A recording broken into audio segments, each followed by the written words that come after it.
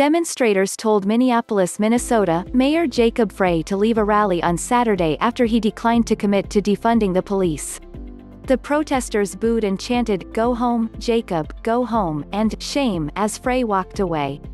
The city has been the epicenter of protests across the country after George Floyd was killed by Minneapolis police officer Derek Chauvin. According to Newsweek, a protest organizer from the group Black Visions Collective, whose website says their mission is to defund the Minneapolis Police Department and invest in the resources that really keep us safe and healthy, asked Frey directly if he supported their cause. We have a yes or no question for you, will you commit to defunding the Minneapolis Police Department? We don't want no more police, is that clear, the organizer asked. While the organizer quieted the demonstrators to hear Frey's response, she added, It's important for everyone to hear this because if y'all don't know he's up for re-election next year. And if he says, no, guess what the fuck we gonna do next year? I do not support the full abolition of the police department, the mayor replied.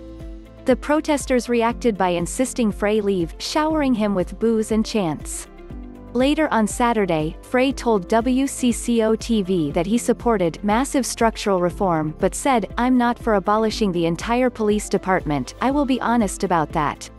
Mayor Frey said, if you're asking whether I'm for massive structural reform to revise a structurally racist system the answer is, yes. If you're asking whether I will do everything possible to push back on the inherent inequities that are literally built into the architecture the answer is, yes.